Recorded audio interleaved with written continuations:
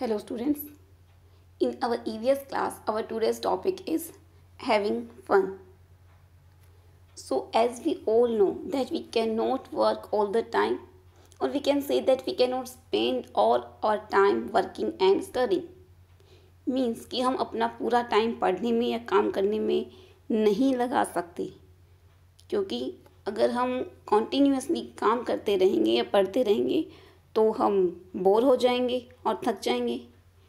तो हम उसके लिए क्या करते हैं कि बीच में कुछ गेम्स खेलते हैं या खुद को एंटरटेन करने के लिए कुछ अदर एक्टिविटीज़ करते हैं। तो उन सब एक्टिविटीज़ को क्या बोलते हैं हम? Recreational activities recreational activities so, today we will discuss about games and recreational activities so as we know that we can not work all the time हम पूरा टाइम काम नहीं कर सकते। We need time to relax and entertain our self we play games for relaxation games and sports are physical activities they keep us active and fit games और sports क्या हैं? वो फ़िज़िकल एक्टिविटीज़ हैं और वो हमें एक्टिव और fit रखती हैं। So here you can see children playing in the park बच्चे जो पार्क में खेल रहे हैं। सो रिक्रिएशनल एक्टिविटीज़ भी डिफरेंट टाइप्स की हो सकती हैं। Like games music programs puppet show kite flying fair circus show ये सब क्या है? रिक्रिएशनल एक्टिविटीज़ आप ड्राइंग करते हो पेंटिंग करते हो, वो सब भी क्या है? Recreational activities okay children like to play outdoor as well as indoor games football, cricket, tennis, badminton, stapu etcetera are some examples of outdoor games which are played outside the house तो ये सब games किसके example है? Outdoor games के, जो कि घर से बाहर खेले जाते हैं। Chess ludo carrom snakes and ladders etcetera are some examples of indoor games chess ludo carrom snacks and ladders ये सब एग्जांपल्स हैं इंडोर गेम्स की। These are examples of indoor games next if we talk about importance of recreational activities कि इनकी importance क्या है? Activities like games fair circus picnic etcetera make us fresh to resume our work again they keep us active and fresh throughout the day वो हमें फिर से काम करने के लिए फिर से काम करने के लिए एकदम फ्रेश कर देती हैं। वो हमें एक्टिव और फ्रेश रखती हैं पूरा दिन। They help us in getting good sleep during the night night में अच्छे स्लीप के लिए भी हमें कौन हेल्प करते हैं? Recreational activities so visiting new places also gives us new knowledge about the places people and their way of living तो हम नई नई जगह पर जाते हैं तो उससे क्या होता है कि हमें नई नई जानकारियाँ मिलने, मिलती है। जानने को मिलती है तो हम वहाँ उस जगह के बारे में वहाँ के लोगों के बारे में भी हमें नई नई नॉलेज मिलती है। तो हम अदर रिक्रिएशनल एक्टिविटीज़ के बारे में हमारी नेक्स्ट वीडियो में पढ़ेंगे बट पहले हम करते हैं अभी टाइप्स ऑफ़ गेम्स कि गेम्स कौन कौन से टाइप्स के होते हैं? Outdoor games and indoor games first of all if we discuss about outdoor games, then we will say games that are played outside the house are called outdoor games like cricket, tennis, baseball, etc. are outdoor games. अगर हमें यहाँ पर outdoor games को define करना है so we can break the word outdoor out plus door out का meaning बाहर and door means outside the house right घर का दरवाज़ा door then outdoor means the games that are played outside the house are known as outdoor games वो games जो घर से बाहर खेले जाते हैं, वो आउटडोर गेम्स और इसके एग्जांपल्स वही cricket tennis baseball volleyball football ये सब किसके एग्जांपल हैं? आउटडोर गेम्स की. तो अगर हम कुछ आउटडोर गेम्स को डिटेल में पढ़ते हैं अभी first we discuss about cricket cricket is a team game teams के बीच खेला जाता है। It is one of the most popular game in India India में बहुत पॉपुलर है। राइट क्योंकि जब भी हमें पता है कि जब भी मैच आता है तो क्या हम सब टीवी के आगे बैठ जाते हैं ना? मैच देखने के लिए।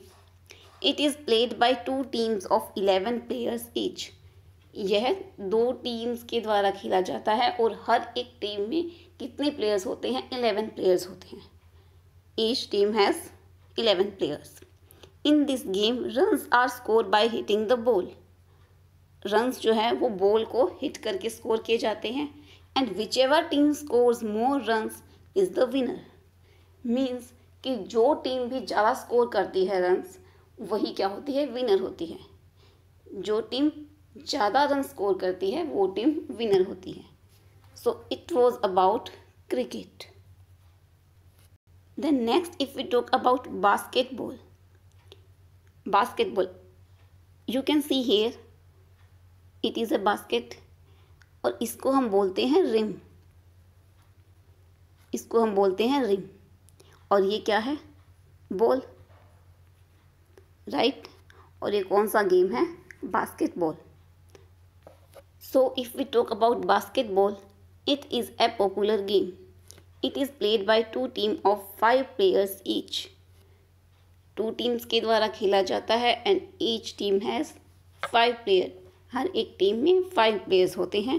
Players score a basket that is goal when they put the ball into a circular band called rim players का एक गोल होता है जब वो सर्कुलर बैंड जिसे हम क्या बोलते हैं रिम उसके अंदर बॉल डालते हैं. तो उनका एक गोल होता है. Whichever team scores more goals is the winner और जो भी टीम ज़्यादा गोल करती है, वही विनर होती है। ज़्यादा गोल करती है मीन्स जो टीम ज़्यादा बार रिम में बॉल डालेगी, वही टीम विनर होगी। It was all about basketball game next if we discuss about football football foot foot means पैर तो आप बॉल को किसके साथ खेल रहे हो इस गेम में? पैर के साथ football football is played by two teams of 11 players, each on a rectangular field इसमें हर एक टीम में कितने प्लेयर्स होंगे? 11 प्लेयर्स और 11 प्लेयर्स रेक्टेंगुलर फ़ील्ड के दोनों साइड मीन्स कि आप यहाँ पे देख सकते हैं मानिए ये एक रेक्टेंगुलर फ़ील्ड है और इसके हर एक साइड 11 प्लेयर्स इधर होंगे 11 प्लेयर्स यहाँ पर होंगे। ओके ये हो गया गोल पोस्ट तो यहाँ पर टीम्स को क्या करना होता है? गोल करना होता है। और यहाँ पर क्या होते हैं? गार्ड होते हैं। टीम के गार्ड यहाँ पर खड़े होते हैं। राइट ये है गोल पोस्ट तो बॉल को यहाँ पर लेके जाना होता है गोल करना होता है। Player tries to kick the ball into the opponent's goal using any part of the body except the hands तो हर एक प्लेयर क्या कोशिश करता है कि बॉल को किक करने की अपोनेंट्स गोल अपने से अपोजिट टीम के गोल में उसको किक करने की कोशिश करता है।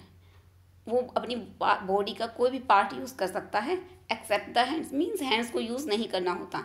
One player of each team is car the goalkeeper और हर एक टीम में एक एक क्या होते हैं? गोल कीपर होते हैं who guards their respective goalpost जो कि उनके गोल पोस्ट को गार्ड करते हैं।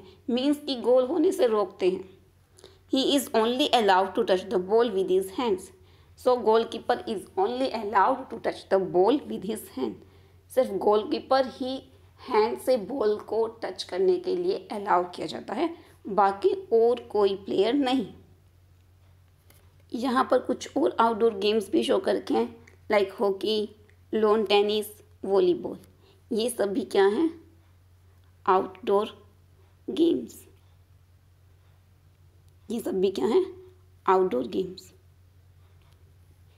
next if we talk about indoor games indoor here we will break the word in door in plus door.